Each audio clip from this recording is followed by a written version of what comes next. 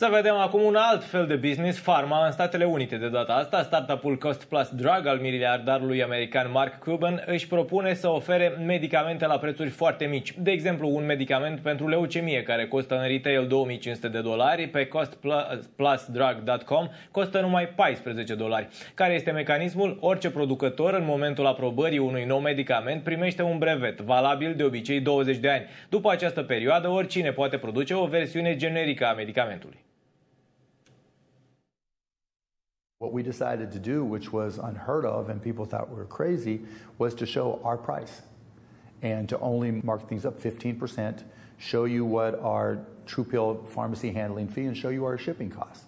So when you go to Cost Plus Drugs and you costplusdrugs.com and you put in the name of the, the drug that you're looking to buy, you'll see exactly what we pay for it. You'll see that it's marked up 15%. We'll show you what the markup is. You'll see that there's a $3 handling fee for the pharmacy and $5 shipping. And that's it.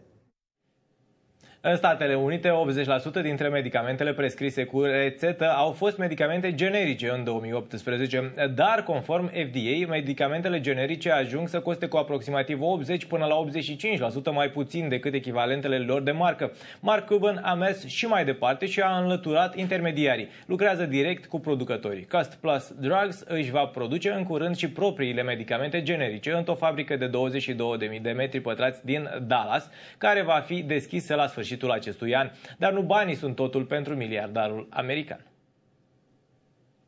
To be at this point where now literally people are coming up to me in the street and hugging me and saying, you know, you just cut my cost of medication from $1,500 a month to $17, you know, and things like that.